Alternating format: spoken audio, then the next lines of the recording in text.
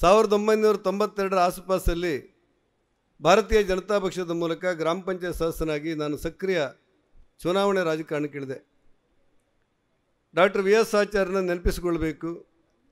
ಆಚಾರ್ಯಂಥ ಹಿರಿಯರು ಮತ್ತು ಅನೇಕ ಹಿರಿಯರು ನನಗೆ ಮಾರ್ಗದರ್ಶನ ಮಾಡಿ, ಸೋಮಣ್ಣ ಆಚಾರ್ಯರು ಗುಜ್ಜಾಡಿ ಅಂತ ಹಿರಿಯರು ನನಗೆ ಮಾರ್ಗದರ್ಶನ ಮಾಡಿ.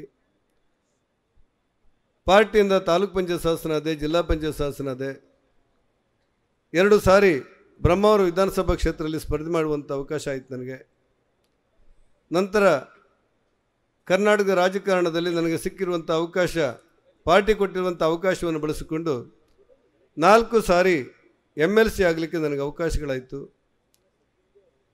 ಪಾರ್ಟಿ ನನ್ನನ್ನು ಮೂರು ಸಾರಿ ಮಂತ್ರಿ ಮಾಡಿತು, ಎರಡು ಸಾರಿ ವಿರೋಧ ಪಕ್ಷ ನಾಯಕನಾಗಿ ಮಾಡಿತು.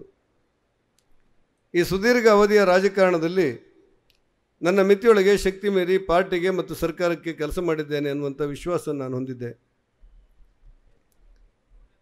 ಉಡುಪಿ ಜಿಲ್ಲೆಯ ಭಾರತೀಯ ಜನತಾ ಪಕ್ಷದ ಅಧ್ಯಕ್ಷನಿಂದ ಪ್ರಾರಂಭವಾಗಿ ರಾಜ್ಯದ ಒ ಬಿ ಸಿ ಮೋರ್ಚಾದ ರಾಜ್ಯಾಧ್ಯಕ್ಷನವರೆಗೆ ಪಾರ್ಟಿ ಕೊಟ್ಟಿರುವಂಥ ಸಂಘಟನಾತ್ಮಕವಾದ ಕೆಲಸವನ್ನು ನಿಷ್ಠೆಯಿಂದ ಮಾಡಿದ್ದೆ ಅನ್ನುವಂಥ ವಿಶ್ವಾಸ ಹೊಂದಿದ್ದೆ ನಾನು.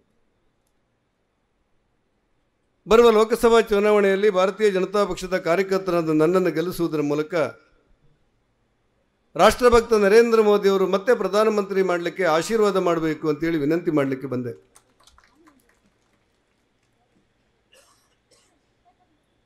ಯಾರಾದರೂ ಕೋಟ ಶ್ರೀನಿವಾಸ ಪೂಜಾರಿ ಏನು ಮಾಡಿದ್ದಾನೆ ಅಂತ ಅಧಿಕಾರದಲ್ಲಿ ಕೇಳ್ತಾರೆ ಅಂತ ಅನಿಸೋದಿಲ್ಲ. ಕೇಳಿದರೆ ನಿಮ್ಗೆ ಗೊತ್ತಿರಲಿ ಅಂತ ಹೇಳಿದೆ. ಎರಡು ಸಾವಿರದ ಹದಿಕ, ಹದಿಮೂರರಲ್ಲಿ ಕರ್ನಾಟಕ ರಾಜ್ಯದಲ್ಲಿ ಮುಜರಾಯಿ ಮಂತ್ರಿಯಾಗಿ ನನಗೆ ಅವಕಾಶ ಸಿಕ್ಕಿತ್ತು. ಆವಾಗ ಮುಜರಾಯಿ ಮಂತ್ರಿನ ತಗೊಳ್ಳಿಕ್ಕೆ ಎಲ್ಲ ಹೆದರ್ತಾ ಇದ್ರು. ಮುಜರಾಯಿ ಮಂತ್ರಿ ತಗೊಂಡವರು ಬ ಉದ್ಧಾರ ಆಗೋದಿಲ್ಲ ಅಂತೇಳಿದ ಮಾತಿತ್ತು. ಈಗಲೂ ಇದ್ದಿರ್ಬೋದು, ನನಗೆ ಗೊತ್ತಿಲ್ಲ.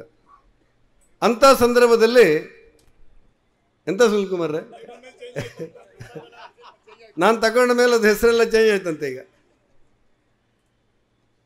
ಮುಜರಾಯಿ ಮಂತ್ರಿ ಆದಾಗ ಕರ್ನಾಟಕ ರಾಜ್ಯದಲ್ಲಿ ಪ್ರಥಮ ಬಾರಿಗೆ ಬಡವರ ದೇವರುಗಳಾದಂಥ ಕಲ್ಕುಡ್ಕ, ಪಂಜೋರ್ಲಿ, ಅಮ್ಮ ಮಾರಮ್ಮ, ಇಂಥ ನಾಗದೇವರು, ನಾರಾಯಣಗುರು, ಕೊರಗಜ್ಜ, ಇಂಥ ದೇವಸ್ಥಾನಗಳಿಗೆ ಬಬ್ಬು ಸ್ವಾಮಿ ಹಣ ಬಿಡುಗಡೆ ಮಾಡುವಂಥ ಕ್ರಾಂತಿಕಾರಿ ಕಲ್ಪನೆಗೆ ಕೈಕ್ಕೆ ಕೈ ಇಕ್ಕಿದ್ದೆ. ನನ್ನ ನೆನಪಿನ ಪ್ರಕಾರ ಉಡುಪಿ ಜಿಲ್ಲೆಯ ಒಂದು ಸಾವಿರ ದೇವಸ್ಥಾನಗಳಿಗೆ ಹಣ ಬಿಡುಗಡೆ ಮಾಡಿದ್ದೆ. ಹೆಜಮಾಡಿಯಿಂದ ಪ್ರಾರಂಭವಾಗಿ ಬೈಂದೂರಿನವರೆಗೆ ಎಲ್ಲಿಯಾದರೂ ಹೊಸ ದೇವಸ್ಥಾನವನ್ನು ನೀವು ನೋಡಿ, ನೋಡಿದರೆ ಭಾರತೀಯ ಜನತಾ ಪಕ್ಷದ ಮುಜರಾಯಿ ಖಾತೆಯಿಂದ ಹಣ ಬಂದಿದೆ ಅನ್ನುವಷ್ಟರ ಮಟ್ಟಿಗೆ ದೇವಸ್ಥಾನಗಳು ವಿಜೃಂಭಿಸುವಷ್ಟು ರಾಜಾರಿ ರಾರಾಜಿಸುವಷ್ಟು ಕೆಲಸಗಳು ನನಗೆ ಮಾಡಲಿಕ್ಕೆ ಅವಕಾಶಗಳಾಗಿತ್ತು ಅಂತ ನಾನು ಅಂದ್ಕೊಂಡಿದ್ದೇನೆ. ನನ್ನನ್ನು ಹಿಂದುಳಿದ ವರ್ಗದ ಮಂತ್ರಿಯಾಗಿ ಯಡಿಯೂರಪ್ಪನವರು ಅವಕಾಶ ಕೊಟ್ಟಿದ್ದರು ಧಾರವಾಡದಿಂದ ಒಬ್ಬ ಹುಡುಗ ಫೋನ್ ಮಾಡ್ತಾನೆ ಶಿವಾಸ್ ಪೂಜಾರಿ ಅವರೇ ನೀವು ಹಿಂದುಳಿದ ವರ್ಗದ ಮಂತ್ರಿ ಅಂತೆ. ಹಾಸ್ಟೆಲ್ನಲ್ಲಿ ಜಾಗ ಸಿಗ್ತಾ ಇಲ್ಲ, ನಾನು ತಗೊಳ್ತಾ ಇಲ್ಲ. ನೀವು ಎರಡು ಹೊತ್ತಿನ ಊಟ ಕೊಟ್ಟರೆ ನನಗೆ, ನಾನು ಬಸ್ ಸ್ಟ್ಯಾಂಡಲ್ಲಿ ಮಲಗಿ ಶಾಲೆಗೆ ಹೋಗ್ತೇನೆ ಅಂತಾನೆ. ಆ ಸಂದರ್ಭದಲ್ಲಿ ಅವತ್ತಿನ ಮುಖ್ಯಮಂತ್ರಿಗಳಾಗಿರುವಂಥ ಬೊಮ್ಮಾಯಿಯವರ ಜೊತೆಯಲ್ಲಿ ಮಾತಾಡಿ, ಒಂದೇ ದಿವಸ ನೀವೇನಾದರೂ ದಾಖಲೆಗಳನ್ನು ಪರಿಶೀಲನೆ ಮಾಡಿ, ಇಪ್ಪತ್ತಾರು ಸಾವಿರ ಮಕ್ಕಳನ್ನು ಹಾಸ್ಟೆಲ್ನ ಒಳಗೆ ಸೇರ್ಪಡೆ ಮಾಡುವಂಥ ಒಂದು ಕ್ರಾಂತಿಕಾರಿ ಕಲ್ಪನೆಗೆ ನಾನು ಕೈ ಇಕ್ಕಿದೆ ಎನ್ನುವಂಥ ವಿಶ್ವಾಸ ನಾನು ಹೊಂದಿದ್ದೆ.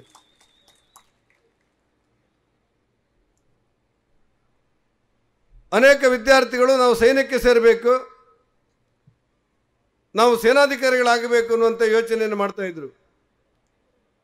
ಅದೇ ಸಂದರ್ಭದಲ್ಲಿ ಪ್ರಧಾನಮಂತ್ರಿ ನರೇಂದ್ರ ಮೋದಿಯವರು ಸೇನಾ ತರಬೇತಿ ಸಂಸ್ಥೆ ಮಾಡಲಿಕ್ಕೆ ಬೇಕಾದಂತೆ ಯೋಜನೆಯನ್ನು ರೂಪಿಸಬೇಕು ಅನ್ನುವಂಥ ಯೋಚನೆಯಲ್ಲಿದ್ದರು.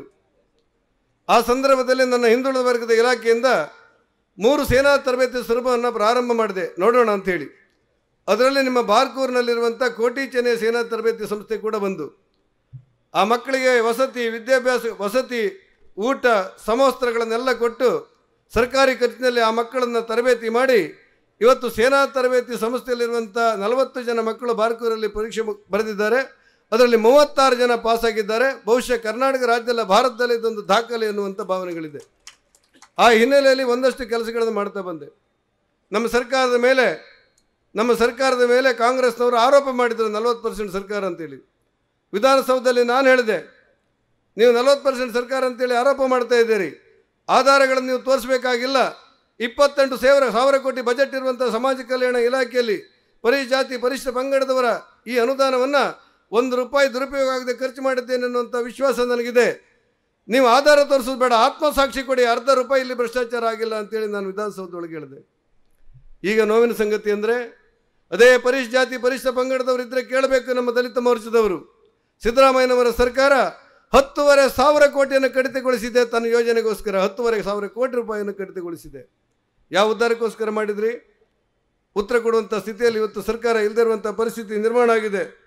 ಬಂಧುಗಳೇ, ನನ್ನ ವಿನಂತಿ, ಈ ಬರುವಂಥ ಲೋಕಸಭಾ ಚುನಾವಣೆ ಕೇವಲ ಸಾಮಾನ್ಯ ಚುನಾವಣೆ ಅಲ್ಲ, ಮಾಧ್ಯಮಗಳು ಬರೀತಾ ಇದ್ದ ಭಾರತ ದೇಶದ ರಾಜಕಾರಣದಲ್ಲಿರುವಂಥ ಅನೇಕ ವಿಮರ್ಶಕರು ಹೇಳ್ತಾ ಇದ್ದಾರೆ.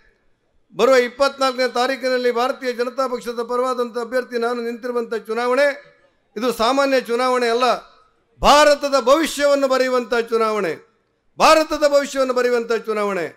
ಬದಲಾಯಿತು ಭಾರತ ನರೇಂದ್ರ ಮೋದಿಯವರ ಕಾರ್ಯಶೈಲಿಯಿಂದ, ಬದಲಾಯಿತು ಭಾರತ ನರೇಂದ್ರ ಮೋದಿಯವರ ಸಾಮರ್ಥ್ಯದಿಂದ, ಬದಲಾಯಿತು ಭಾರತ ನರೇಂದ್ರ ಮೋದಿಯವರ ಶಕ್ತಿಯಿಂದ, ಬದಲಾಯಿತು ಭಾರತ ನರೇಂದ್ರ ಮೋದಿಯವರ ಸಮರ್ಪಣಾ ಮನೋಭಾವದ ಸೇವೆಯಿಂದ ಅಂತ ಇಡೀ ಭಾರತ ಯಾಕೆ ಹೇಳುತ್ತೆ ಅಂತ ಹೇಳಿದ್ರೆ ಒಂದು ಕಾಲದಲ್ಲಿ ಚಿನ್ನವನ್ನು ಅಡ ಇಟ್ಟಂತ ನನ್ನ ಭಾರತ.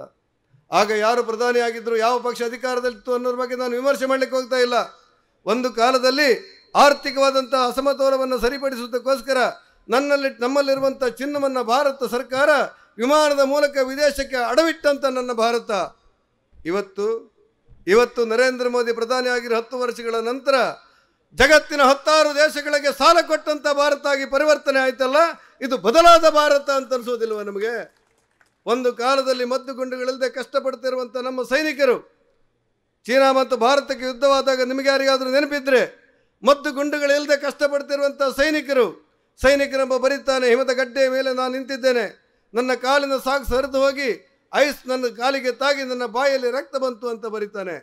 ಅಂಥ ಸೈನಿಕರು ಕಷ್ಟಪಡ್ತಿರುವಂಥ ಸೈನಿಕರು ಕಾಲ ಬದಲಾಗಿ ಇವತ್ತು ಮುಂದತ್ತಿ ಬರ್ತಾ ಇರುವಂಥ ಚೀನಾವನ್ನು ಎದುರಿಸುವ ಶಕ್ತಿ ಯಾರಿಗಿದೆ ಅಂತೇಳಿ ಅಮೆರಿಕ ಸಮೀಕ್ಷೆ ಮಾಡಿದರೆ, ಚೀನಾವನ್ನು ಎದುರಿಸುವ ಶಕ್ತಿ ಇವತ್ತು ಅಮೆರಿಕಕ್ಕಿಲ್ಲ, ರಷ್ಯಾಕ್ಕಿಲ್ಲ ಬ್ರಿಟನ್ಗಿಲ್ಲ ಚೀನಾದಂಥ ಧೂಂಡಾವರ್ತಿ ಮಾಡುವಂಥ ದೇಶವನ್ನು ಎದುರಿಸುವಂಥ ಶಕ್ತಿ ಭಾರತದ ಪ್ರಧಾನಮಂತ್ರಿ ನರೇಂದ್ರ ಮೋದಿಗೆ ಮಾತ್ರ ಸಾಧ್ಯ ಇದೆ ಅನ್ನುವಂಥ ವಿಫಲವಾದಂಥ ವರದಿಗಳು ನಮ್ಮಲ್ಲಿ ಆತ್ಮಸ್ಥೈರ್ಯ ಹೆಚ್ಚಿಸ್ತದೆ. ಬಂಧುಗಳೇ, ನಾನು ನಿಮ್ಮಲ್ಲಿ ವಿನಂತಿ ಮಾಡಲಿಕ್ಕೆ ಬಂದೆ.